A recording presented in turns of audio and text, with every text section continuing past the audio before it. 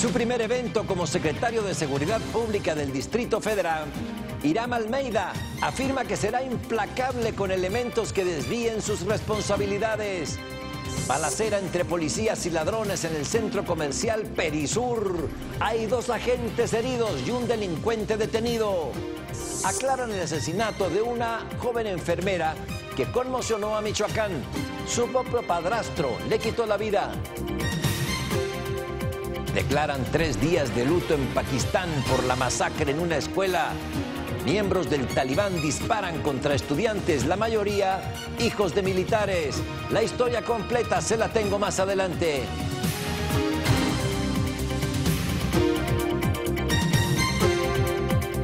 Muy buenas tardes, soy Pablo Iriar y estas son las noticias.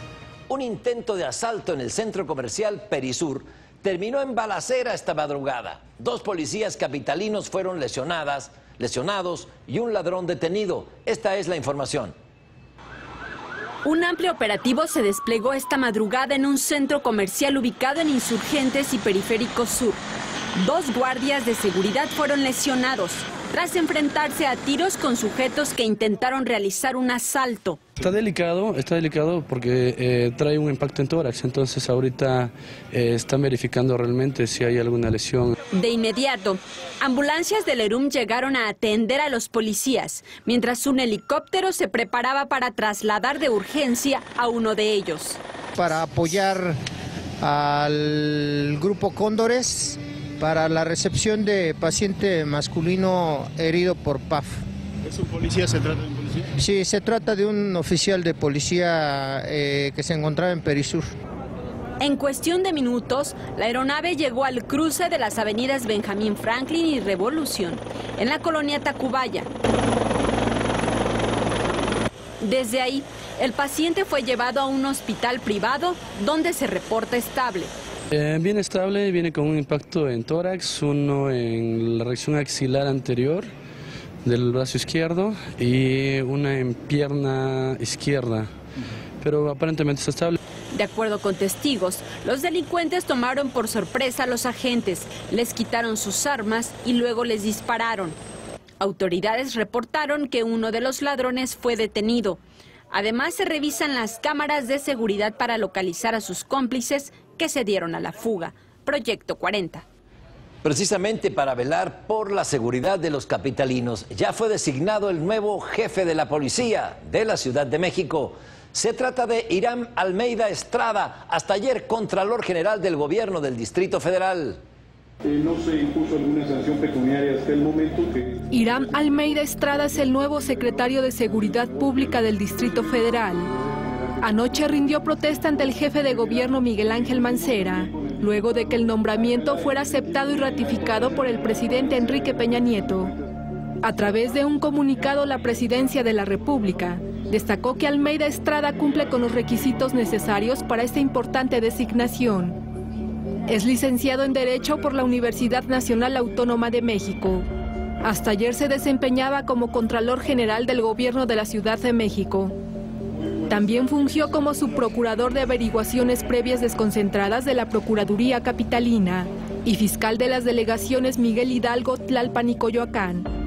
Además, se ha dedicado a la docencia en diversas universidades. Sustituye a Jesús Rodríguez Almeida, quien renunció al cargo el pasado 5 de diciembre. De acuerdo con la Asamblea Legislativa del Distrito Federal, los retos que deberá enfrentar Irán Almeida Estrada son el aumento de secuestros y extorsiones, así como la crisis de seguridad por la que atraviesa el país y afecta al Distrito Federal. Proyecto 40. Hace del conocimiento de ustedes. En su primer acto como titular de la seguridad pública en la capital, Irán Almeida Estrada advirtió que será implacable con los elementos que se desvíen de sus responsabilidades. Esta mañana, al conmemorar el Día del Policía, junto con Miguel Ángel Mancera, jefe de gobierno de la capital, Irán Almeida destacó que la dependencia a su cargo trabajará en armonía con la sociedad y respetará sus derechos. Trabajaré para fortalecer las acciones de la policía de la Ciudad de México, siempre al servicio de la gente. Refrendaremos los lazos de vinculación con la ciudadanía y trabajaremos para preservar el armónico desenvolvimiento social. Bueno, está muy bien que el nuevo jefe de la policía diga que será implacable con los elementos que se desvíen de sus responsabilidades, pero lo que uno esperaría es que fuera implacable con la delincuencia que no deja en paz a la ciudadanía, pues a fin de cuentas la policía está para proteger a los ciudadanos y no a los delincuentes. El robo a un transeúnte provocó una movilización policíaca en calles del barrio de Tepito ayer por la tarde. Los agentes recorrieron varias calles y catearon una vecindad ubicada en Jesús Carranza para dar con los delincuentes. Pese al despliegue, no hubo detenidos. El choque entre una pipa de agua y dos vehículos particulares en carriles centrales de Periférico Sur dejó una persona lesionada. Ocurrió ayer a la altura de San Jerónimo. Todo indica que la pipa circulaba a una velocidad muy baja y sin ningún señalamiento, lo que provocó que las unidades se impactaran en la parte trasera. Esta mañana hubo un incidente automovilístico en la carretera de Miraflores, en el municipio de Chalco. Un camión de carga presentó una fuga en su tanque de combustible luego de chocar con una camioneta. Bomberos atendieron la emergencia. Por fortuna no hubo heridos. Y esta madrugada salieron del penal femenil de Tepic, en Nayarit, dos mujeres detenidas por el ejército durante los sucesos de Tlatlaya en el mes de junio, donde murieron 22 personas. Un juez federal ordenó la inmediata libertad de Cintia Stephanie Nava López y Patricia Campos Morales, luego de que la PGR decidiera presentar conclusiones no acusatorias en su favor. El Ministerio Público Federal inició una averiguación previa por la agresión de maestros de la CETEG y normalistas en contra de policías federales el domingo pasado en Chilpancingo se investiga el delito de privación ilegal de la libertad y lo que resulte. Los agentes aseguran que fueron sacados de las habitaciones de su, hotel por un grupo de encapuchados. Y en cuanto al parte médico de los heridos, cuatro personas permanecen hospitalizadas en el Hospital General Raimundo Abarca, en la capital de Guerrero.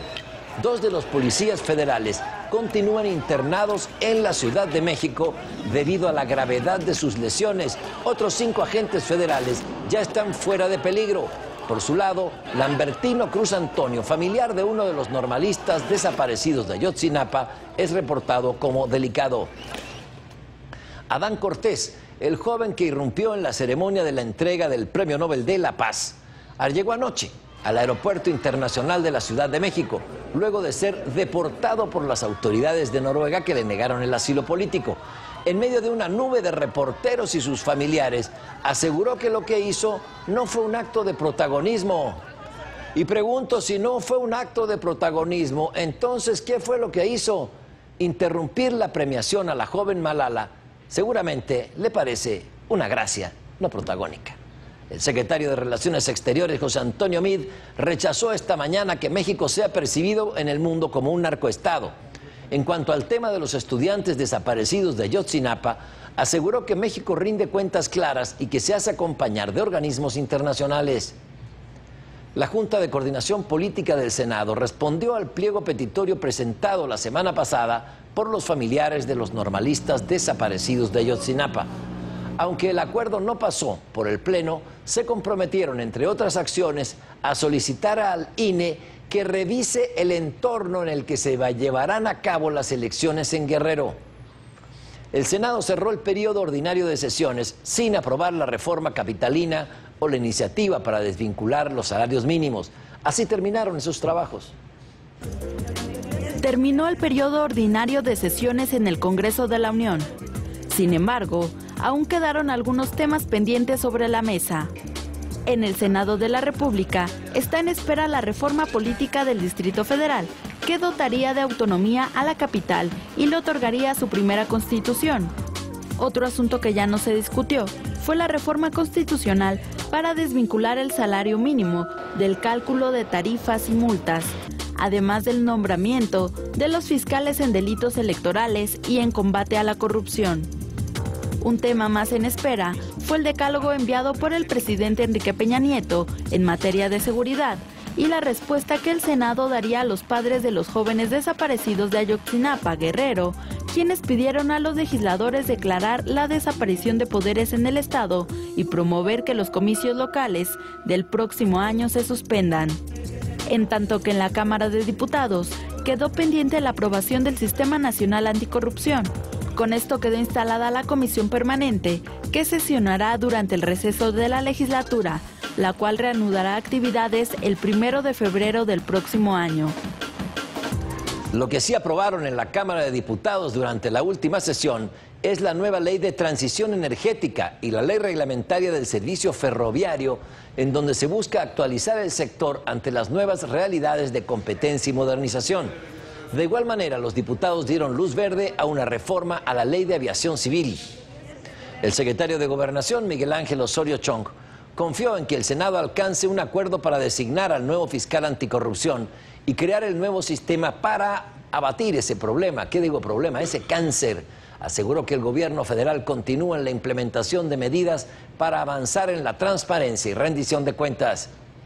La Ciudad de México contará con más de 169.222 millones de pesos para el próximo año. Corresponden al presupuesto aprobado por la Asamblea Legislativa esta madrugada. El paquete tuvo un incremento de 7.8% más que los recursos de 2014. Incluye un excedente de 1.400 millones cuyo destino se definirá hasta el próximo año. Una máquina revolvedora de cemento derrapó en Marruecos. Esa es otra noticia. Se volcó esta mañana en las calles de la colonia Peñón de los Baños de la delegación Venustiano Carranza. La carga del vehículo cayó sobre un auto compacto que estaba estacionado. La calle fue acordonada por autoridades sin reportar lesionados. En Acapulco continúa el paro laboral de 2.100 elementos policíacos permanecen afuera de la Secretaría de Seguridad Local desde el viernes pasado. Reclaman la falta de pago desde hace más de un mes y medio para 280 elementos operativos y de 60 policías que reprobaron los exámenes de confianza para integrarse al mando único en Guerrero. En Michoacán se mantiene la estrategia de seguridad para capturar a Servando Gómez, alias La Tuta, y a otros objetivos prioritarios. Así lo aseguró el comisionado de seguridad, Alfredo Castillo, al ser entrevistado anoche por mi compañera Jania Nobel.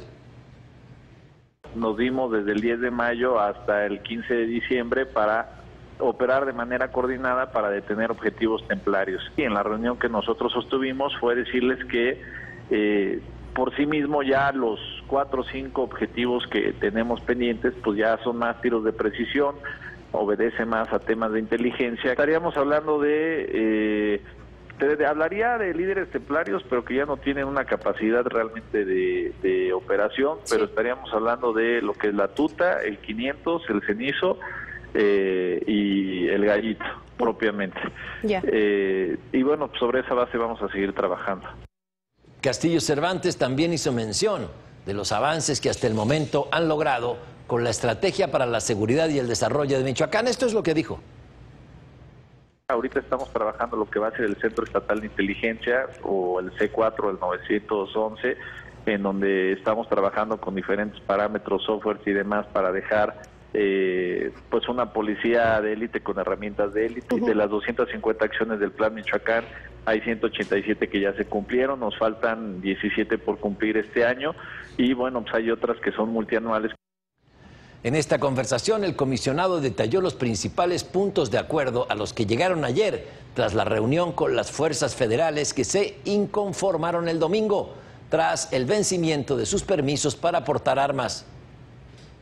Parte de los acuerdos es la desaparición de este grupo especial, por un lado, y por el otro lado tiene que ver con que vamos a continuar con los procedimientos de evaluación de las personas que ellos consideren que pueden realizar las funciones de seguridad pública y acordamos reunirnos eh, cada 10 días, llevar a los procuradores regionales para el levantamiento de denuncias por hechos que se imputen en contra de alguna autoridad por algún tipo de abuso de autoridad y que algunos puntos de revisión, sobre todo en la parte de Apatzingán, que es un punto en conflicto, eh, serían llevados a cabo directamente por la Secretaría de la Defensa Nacional. Finalmente, Alfredo Castillo destacó que los índices delictivos en la entidad han disminuido. Destacó sobre todo la reducción de los secuestros.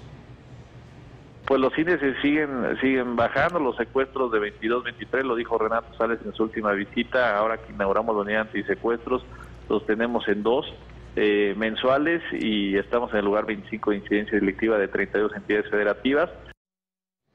Allá en Michoacán, la Procuraduría de Justicia esclareció el asesinato de una joven enfermera en Uruapan.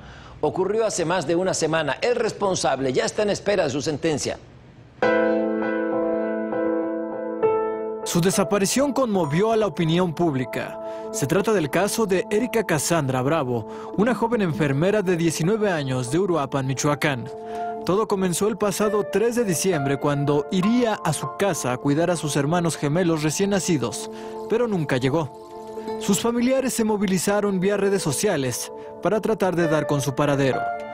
La mañana del sábado 7 de diciembre, su cuerpo fue encontrado. Tenía el rostro desfigurado y su cuerpo estaba desollado. Presentaba lesiones de arma blanca a la altura del pecho. El cadáver estaba abandonado a orillas de la carretera Uruapan, los Reyes, muy cerca de la comunidad de Las Cocinas. El hallazgo generó movilizaciones que exigían el esclarecimiento del crimen. Ayer, la Procuraduría de Justicia del Estado informó quién fue el asesino. Daniel Mendieta Sainz, su padrastro.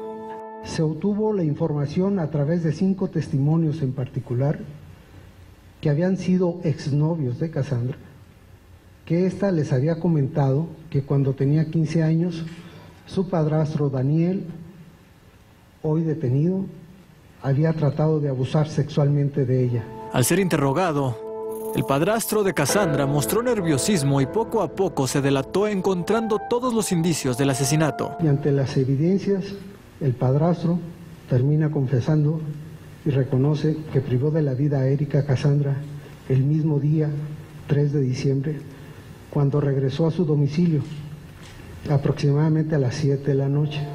Confesó haberla golpeado y asfixiado. Ahora, el juez dictará la sentencia al padrastro de Cassandra. Proyecto 40.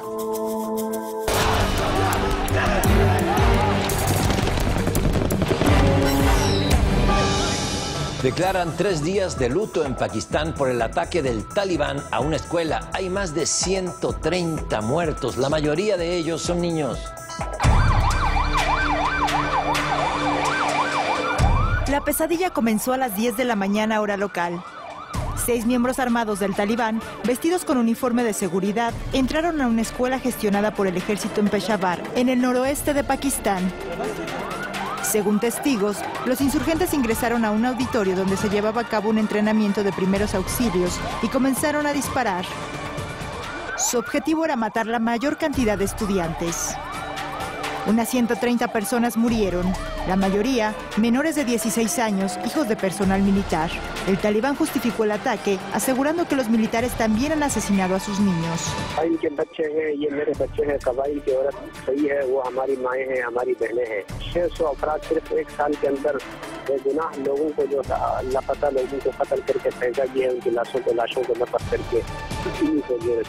Tras horas de enfrentamientos, las fuerzas de seguridad consiguieron el control del edificio. Cinco talibanes fueron abatidos y uno más murió al detonar su carga. El primer ministro Nawaz Sharif calificó el ataque de tragedia nacional. La reciente galardonada con el Nobel de la Paz, la pakistaní Malala, también condenó la matanza. Recordó cómo sobrevivió tras ser atacada por el talibán cuando abogaba por la educación de las niñas. El presidente estadounidense Barack Obama y las Naciones Unidas se solidarizaron con los familiares de las víctimas. Pamela Morales, Proyecto 40. A un día de la toma de rehenes que mantuvo en vilo a la policía australiana, el primer ministro Tony Abbott criticó que no se haya vigilado al atacante, quien tenía un historial criminal.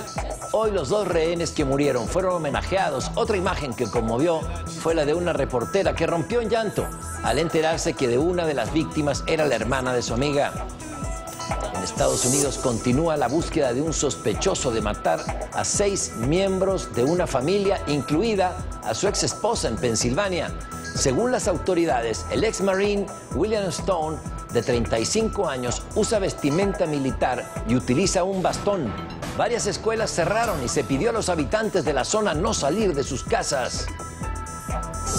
Y otra situación de brutalidad policíaca en los Estados Unidos. Esta vez en Texas, un oficial le torció el brazo a un adulto mayor, lo aventó contra la patrulla, lo tiró al piso y hasta le aplicó descargas eléctricas. El delito de hombre, del hombre de 76 años fue que su auto no contaba con un engomado de tránsito. Ya investigan al oficial. Eh, eh, qué crueldad. Seguimos en Texas. Fue inaugurado el mayor centro de detención de migrantes en todo Estados Unidos. Tiene capacidad para 2.400 personas. Fue diseñado a manera de que no parezca cárcel. Cuenta con cuartos de juego, bibliotecas, un campo de fútbol. Además, no habrá cerca de alambre de púas en el perímetro. Y en la inauguración de este centro, el secretario de Seguridad Nacional estadounidense, G. Johnson, anunció un plan unificado de seguridad fronteriza. Precisó que serán restablecidos tres nuevos grupos de trabajo, cada uno encabezado por un alto funcionario de la Secretaría de Seguridad Nacional. Tres antiguos colaboradores del ex financiero Bernard Madoff recibieron penas de entre dos años y 10 años de prisión por gestionar millones de dólares en inversiones ficticias. Madoff cumple una condena de 150 años de cárcel en Carolina del Norte, acusado de la mayor estafa piramidal en la historia de Wall Street. La Federación Japonesa de Fútbol anunció que estudia qué medidas tomará ante la acusación contra el director técnico de su selección, el mexicano Javier Aguirre. Es señalado por arreglar un partido de fútbol en España. Ayer la Fiscalía Anticorrupción Española acusó al Vasco, junto con 41 personas más, de comprar el partido contra el Levante en 2011 para evitar el descenso del Zaragoza. Y esta tarde en Marruecos todo indica que Cruz Azul concluye su participación en el Mundial de Clubes. A unos minutos de concluir el juego pierde 3 a 0 en la semifinal contra el Real Madrid aunque en gran parte del primer tiempo tuvo al cuadro español echado atrás en su cancha, metido en su portería, pues llegaron los goles de Sergio Ramos y Karim Benzema. Por parte del equipo mexicano, Gerardo Torrado falló un penalti. En la parte complementaria, el tercer gol fue realizado por Gareth Bale. Deportista extremo Nathan Jones, conocido como el hombre pájaro, completó una peculiar hazaña al chocar los cinco mientras saltaba con su traje alado. El original saludo tuvo lugar en Francia y fue para recaudar fondos para que un mayor número de zonas en África tengan acceso a agua potable. Su impresionante parecido con el actor Bruce Lee ha hecho famoso a este afgano en las redes sociales.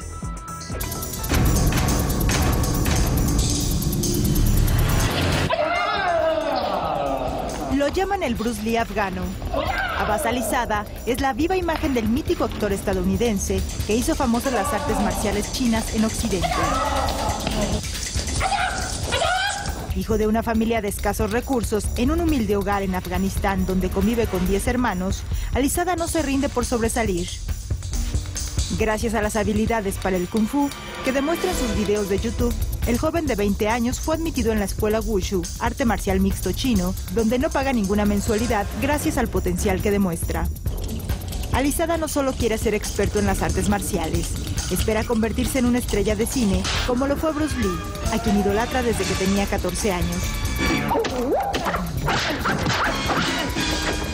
También busca llevar en alto el nombre de su país, pues afirma que las únicas noticias sobre Afganistán hablan sobre la guerra y los atentados. Él está feliz que su historia sea positiva y se esté dando a conocer en el mundo. Pamela Morales, Proyecto 40. Estos son los temas que durante 2014 fueron los más buscados alrededor del mundo vía Internet. El buscador más famoso del mundo reveló qué fue lo que más interesó a los internautas a lo largo de este 2014 que está a punto de terminar nivel mundial, estos fueron los términos más buscados. En el 10, los Juegos Olímpicos de Invierno de Sochi. Seguimos con el ambiente congelado con Frozen en el 9. El grupo terrorista del Estado Islámico, ISIS, en el 8. En el 7, la mujer barbuda que robó las miradas en una pasarela y concurso de canto, Conchita Wurst.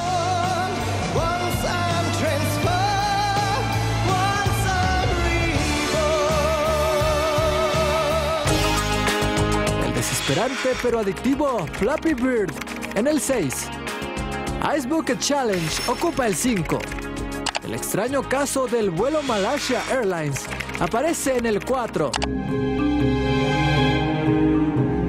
La crisis por el ébola se viraliza en el 3. A un gol de ser campeón, la Copa de Fútbol del Mundo en el número 2. Y el inesperado deceso de Robin Williams se queda en el primer lugar. Mientras que en México lo más buscado fue el ébola, seguido de Ayotzinapa y el Ice Bucket Challenge. Cristian Herrera, Proyecto 40. De último momento le informo que los padres de los jóvenes desaparecidos de Ayotzinapa suspendieron el diálogo con el gobierno federal por los recientes hechos violentos en Chilpancingo. Sin embargo, advirtieron que hay intención de continuar con encuentros para obtener información de la investigación y de su búsqueda. Señalaron que no descansarán hasta encontrar a sus hijos. Y anoche murió el político mexicano Fausto Zapata Loredo a los 74 años de edad. Sus familiares confirmaron su deceso luego de varios meses de luchar contra el cáncer. En su trayectoria destaca haber gobernado San Luis Potosí durante 14 días, en 1991. Dejó el cargo tras su movimiento encabezado por el doctor Salvador Nava. Y no se pierda el programa El Refugio de los Conspiradores. Conozca los detalles poco conocidos de nuestra historia desde la perspectiva de Francisco Martín Moreno y su equipo de historiadores. Esta noche, en punto de las 10 de la noche, solo aquí por Proyecto 40. Y aquí en Proyecto 40 lo invitamos a sumarse al juguetón. Con su ayuda en esta noble causa será posible lograr millones de sonrisas. Usted puede entregar sus juguetes en Periférico Sur 4121, Colonia Fuentes del Pedregal. También puede acudir a los locales de TV Azteca. Al hacer su donación, diga que escuchó la convocatoria aquí en Proyecto 40. Y esto es lo que hay, así se lo conté. Buenas tardes.